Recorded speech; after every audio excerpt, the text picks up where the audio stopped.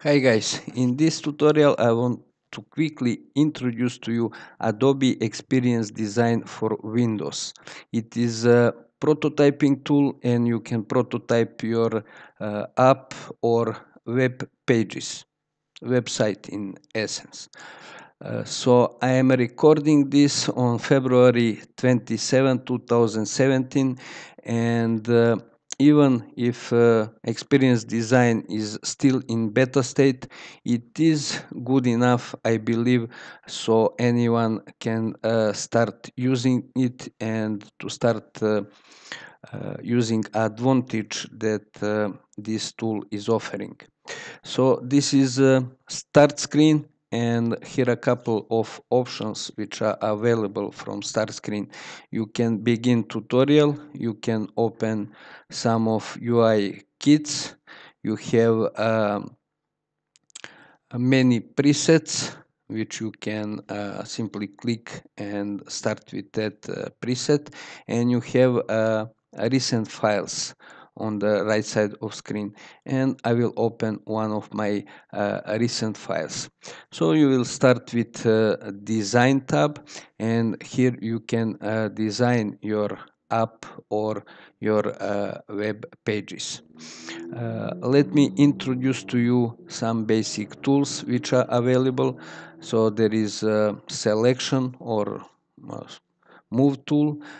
you have um, rectangle ellipse, line, pen, text tool, and uh, artboard tool. When you uh, activate artboard tool on the right side of screen, you will see a wide variety of presets and you can simply click on preset that will draw uh, artboard. If you want to navigate your uh, canvas, you can press uh, spacebar and that will display hand tool you can uh, move around uh, your artboard uh, or to reposition it. To activate zoom tool, you need to press Ctrl and spacebar and that will display zoom in. If you want to let me zoom in. If you want to zoom out, you will add an Alt key to control and space and that will uh, display uh, zoom out icon. Uh, there are n keyboard shortcuts to zoom in and out.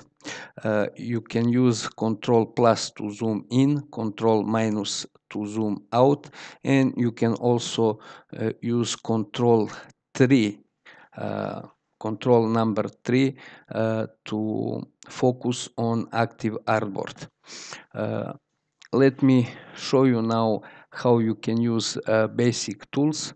So you just uh, activate uh, some of the tools and then draw a rectangle for example. On the right side of screen you can uh, position it or you can change uh, opacity uh, change fill color border or to remove border. You have option to add shadow and you also can around uh, corners. Uh, to undo, you can uh, press Ctrl uh, Z uh, on your keyboard. Uh, so let me undo couple of times. And experience design is remembering all steps in session, so you can undo as many steps as you want. You also have option to duplicate uh, elements. Uh, you need to select that uh, element that you want to duplicate. Then you right click and choose copy. Then you uh, switch to another artboard and then right click and paste. Another, let me undo this step. Another option to duplicate elements is to select element, uh, press and hold Alt key, and then click and drag, then position uh, element where you want. Uh, now let me introduce you a repeat uh, a grid option, which is very uh, nice uh, option to quickly create uh, multiple elements and I will use a rectangle tool to draw a rectangle. And uh, here is how you can uh, place image. So you draw a rectangle and then open Windows Explorer uh, select image drag onto that rectangle and that will uh, clip uh, that image to uh, a rectangle. You can change dimensions of a rectangle. You just select rectangle and then click on some um, uh, uh, these uh, points which you have around uh, bounding box and drag what will expand or change dimensions of that rectangle. Now let me add a few more elements just to make things uh, more interesting and uh, more appealing. I will remove border, uh, I will change color and uh, opacity to let's say 40% and then I will add some text. So I will type for example my uh, product and uh, I want to change uh, color. So it's uh, fill. I will change to white and then I will reposition. Uh, while you are moving elements there will be uh, smart guides which can greatly help you to position your elements. And now we will use uh, repeat grid. So you simply select uh, element that you want to repeat then click on repeat grid. And uh, that will display bounding box. uh, which you can extend. Simply click and drag and that will repeat uh, that elements as many times as you want. If you want to expand uh, uh, artboard you can select it and then uh, drag to expand it.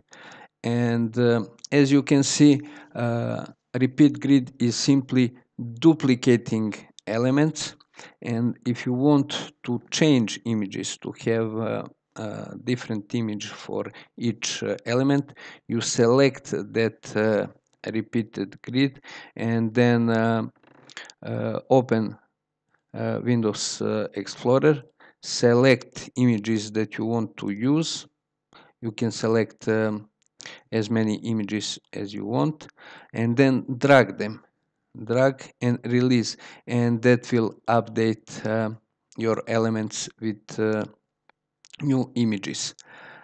Uh, so that's couple of nice options that you have in design uh, tab. And now let's go to prototype tab. And here you can link uh, artboards or uh, pages.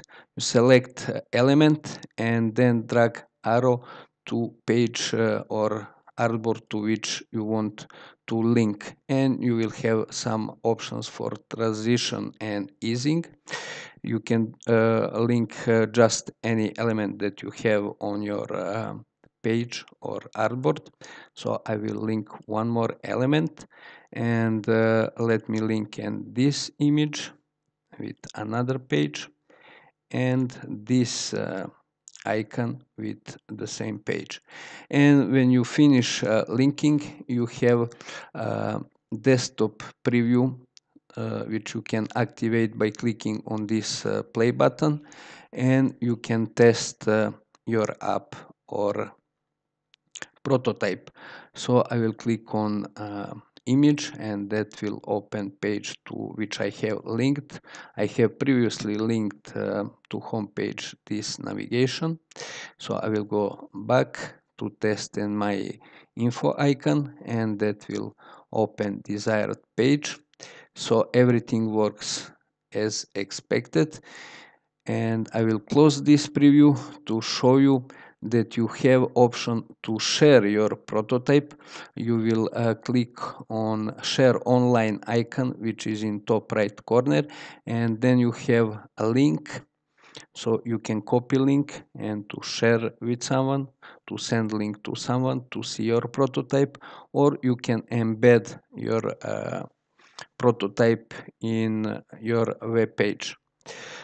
So that was my quick introduction to experience design. Uh, thanks for watching, cheers and happy prototyping.